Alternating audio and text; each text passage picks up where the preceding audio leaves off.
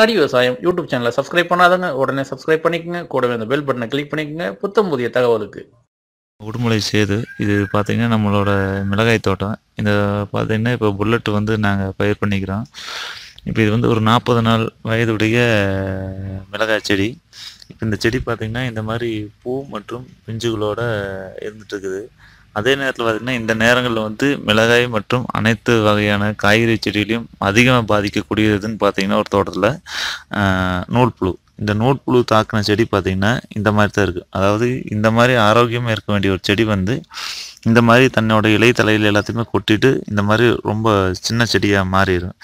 இந்த நூல்புழு தாக்கத்தை கட்டுப்படுத்துறதுக்காக வந்து நான் வந்து உயிரி மருந்துகளை வந்து கையாண்டுருக்கேன் அதாவது பயோ உயிரி மருந்துகளை வந்து நான் கையாளுறேன்.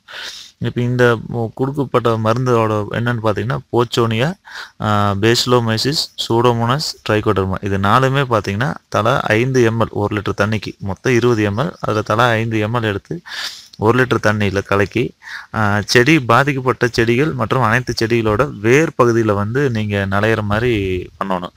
இந்த காய்கறி செடியில் வந்து நீங்கள் உயிர் உரங்களை பயன்படுத்துகிற அப்படின்னா வெஞ்சுரி மூலியமாகவே வந்து நீங்கள் பயன்படுத்தலை.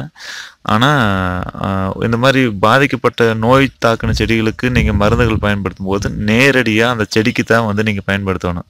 வெஞ்சுரியல் வந்து கண்டிப்பாக கொடுக்கவே கூடாது. அப்போ தான் வந்து உங்களுக்கு வந்து உடனடியாக வந்து ரிசல்ட் கிடைக்கும்.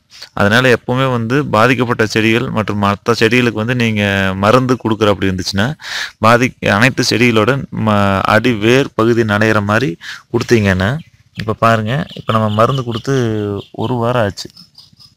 இந்த ஒரு வாரத்தில் பார்த்தீங்கன்னா புது குருத்து வச்சு அருமையாக தளைஞ்சிருக்குது இந்த செடிகள் வந்து இன்னொரு ஒரு ஒரு பதினஞ்சுலேருந்து இருபது நாளுக்குள்ளே மற்ற செடிகள் மாதிரியே இதுவும் வந்து ஆரோக்கியமாக வந்துடும் நன்றி. ஹரி விவசாயம் யூடியூப் சேனலை சப்ஸ்கிரைப் பண்ணாதவங்க உடனே சப்ஸ்கிரைப் பண்ணிக்கோங்க. கூடவே அந்த பெல் பட்டனை கிளிக் பண்ணிக்கங்க. புத்தம் புதிய தகவலுக்கு.